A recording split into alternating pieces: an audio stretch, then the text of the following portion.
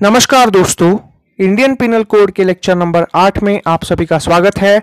आज के लेक्चर में हम लोग आईपीसी का सेक्शन नंबर थर्टी फोर देखेंगे, जिसका टाइटल है acts done by several persons in furtherance of a common intention इस सेक्शन को समझने से पहले मैं आपको एक आसान सा एग्ज़ाम्पल देना चाहूँगा। एग्ज़ाम्पल कुछ इस प्रकार से है। चार लोग हैं ए बी सी डी ये चारों मिलकर जेड का मर्डर करना चाहते हैं। इन चारों ने मिलकर एक प्लान बनाया कि जेड का हमें मर्डर करना है। इसके बाद में ए ने जेड की गतिविधियों के ऊपर नज़र रखना चालू कर दिया और एक जगह तय की कि जेड का मर्डर पार्क में करना है। जो बी था मर्डर के दिन पार्क के बाजू में जो सबसे ऊँची बिल्डिंग है, वहाँ पर चढ़ गया और बाइनाक्यूलर से देख रहा था कि जेड कहाँ पर जा रहा है।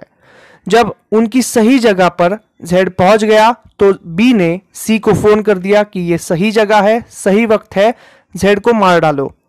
जेड ने जेड को मार दिया सी ने। और पार्क के बाहर डी गाड़ी लेकर खड़ा था। सी जो था, मर्डर कर दिया और डी की गाड़ी में बैठकर फरार हो गया।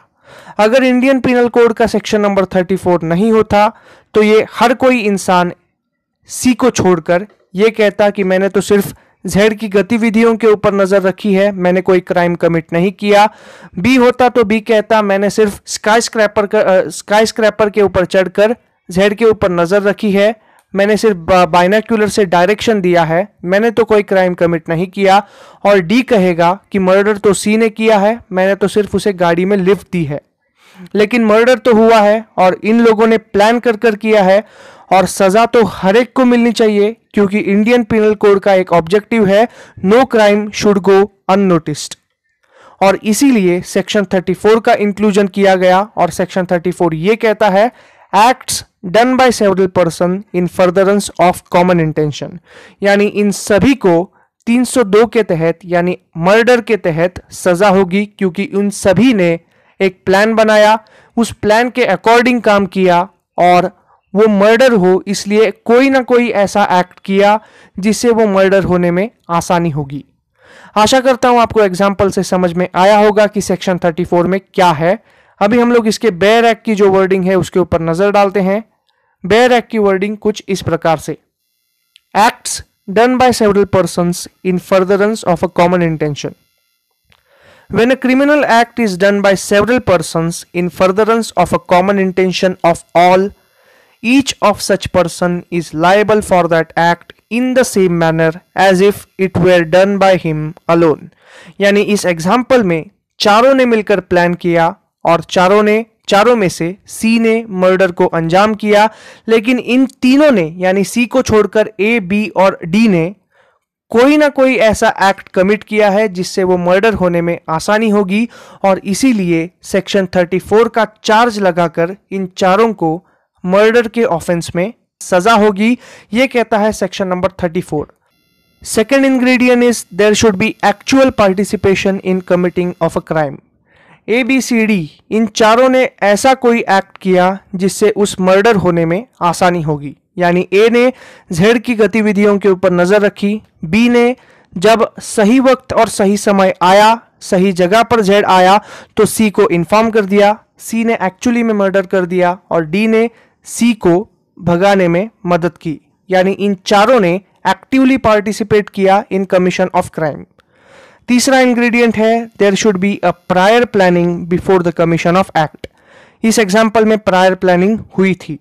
और चौथा है criminal act was done as per the plan इस एग्ज़ाम्पल में क्रिमिनल एक्ट जैसा प्लान किया गया था, उसी तरह से हुआ है।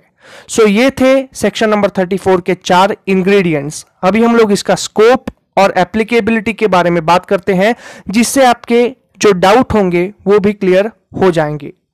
Section 34 is not an offence in itself it is merely a charge which links the co co actors of a crime यानी सेक्शन नंबर 34 एक ऑफेंस नहीं है. ये सिर्फ़ एक चार्ज है जो लगाया जाता है जॉइंट ऑफेंडर्स को एक साथ बांधने के लिए. All the accuse involve in crime has committed any act to aid और constitute a crime by a pre arrange plan only then section number 34 is applicable इसी एग्ज़ाम्पल में अज्यूम करिए कि ई e नाम का एक इंसान क्राइम सीन के आसपास खड़ा था और वो सिर्फ़ मज़े लेने आया था और पुलिस ने जब उस पार्क का जो सीसीटीवी फुटेज था वो चेक किया और ई को नज़दीक पाया तो उन्होंने उससे पूछताछ की लेकिन पूछताछ से अगर उन, उनको ये पता चला कि उसका कोई क्राइम नहीं है या फिर कोई इंटेंशन नहीं है तो उसे सेक्शन नंबर 34 के अंडर नहीं चार्ज किया जाएगा। क्योंकि उसका ना तो कोई क्राइम का इंटेंशन है ना उसने क्राइम को असिस्ट करने के लिए कोई एक्शन किया है। अभी हम लोग तीसरा इंग्रेडिएंट देखते हैं।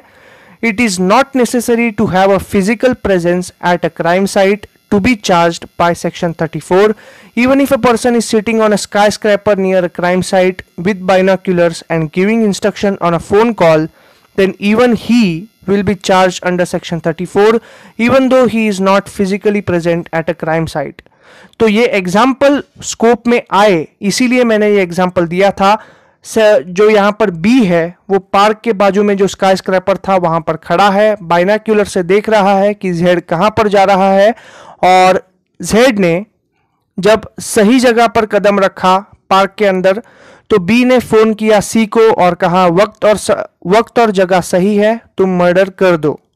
तो यहाँ पर बी ने डायरेक्शन तो दिया है लेकिन लीगल टेक्निकलिटी के चलते वो छूट ना जाए और इसीलिए ये प्रोविज़न इंसर्ट किया है। चौथा इंग्रेडिएंट है here act means any act done with criminal intention to aid a crime यहाँ पर आप डी के बारे में देखो, जब क्राइम खत्म हुआ तो डी पार्क के बाहर गाड़ी लेकर खड़ा था और डी ने सी को भाग जाने में मदद की। यहाँ पर डी ने कोई एक्शन ऐसा मतलब क्रिमिनल एक्शन तो नहीं किया है, लेकिन जिस आदमी ने, जिस आदमी ने क्राइम किया है, उसे भगाने में उसने मदद की है और इसीलिए वो इस क्राइम का एक हिस्सा माना जाएगा। यहाँ पर पांचवा इंग्रेडिएंट ये है if different person having similar intention meet at a crime site by a co without any pre arrange plan and they jointly act और they are joint act result in crime then they will not be charge under section 34 but they will charge they will be charge under section 35 यहाँ पर मैं आपको सबसे आसान example देना चाहूँगा mob lynching का। If a mob lynching kills a man, then each person will be charged as per the consequences of their act. For example एक इंसान की अगर मॉब लिंचिंग करने जा रहे हैं चार लोग चार लोग का कोई प्री अरेंज प्लान नहीं है वो गुस्से के अंदर आ गए और उन्होंने उस इंसान को पीटना चालू कर दिया एक इंसान ने लात लात और गुस्से से पीटा दूसरे इंसान ने रॉड से पीटा तीसरे इंसान ने जो हाथ में मिला, यानी अगर पत्थर मिला तो पत्थर से पीटा, और चौथे इंसान के पास अगर कोई डेंजरस हथियार था, उसने मारना चालू कर दिया। यानी उस डेंजरस हथियार से मारना चालू कर दिया तो हर एक इंसान को उसकी इंजुरी मतलब जो इंजुरी उसने पहुंचाई है, उसके कॉन्सिक्वेंसेस के हिसाब से चार्ज लगाया जाएगा। फॉर एग्ज़ाम्पल जिस इंसान ने लाठ और गुस्से से मारा है, उसके ऊपर वॉलेंटरीली कॉजिंग हर्ट का चार्ज लगेगा। जो इंसान लाठी से मार रहा है, उसके ऊपर वॉलेंटरीली कॉजिंग ग्रीवियस हर्ट का चार्ज लगेगा। जिस इंसान के पास डेंजरस हथियार है और डेंजरस हथियार से अगर वो मार रहा है, उसके ऊपर अटेम्प्ट टू मर्डर का भी चार्ज लग सकता है। और इन चारों का कोई कॉमन इंटेंशन या फिर प्री अरेंज प्लान ना होने की वजह से इनके ऊपर सेक्शन नंबर 34 नहीं, बल्कि सेक्शन नंबर 35 लगेगा और जो इंजुरी एक इंसान ने पहुंचाई है, उसके अकॉर्डिंगली उसे सजा मिलेगी। इसका केस लॉ है Mahboob Shah versus emperor thirty January 1945 यहाँ पर वर्डिंग है A similar intention to commit a crime will not constitute an offense to be charged under section number 34. It requires a common intention in furtherance of a pre-arranged plan. यानी जो example मैंने अभी आपको दिया चार लोग गुस्से के चलते एक साथ आ गए और उन्होंने एक इंसान को मारना चालू कर दिया। इन लोगों ने कोई प्री अरेंज्ड प्लान नहीं बनाया था और इसीलिए इनके ऊपर सेक्शन नंबर 34 नहीं लगेगा।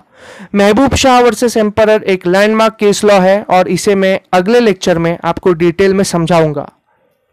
So that's it for today's lecture thank you so much please like share and subscribe to my channel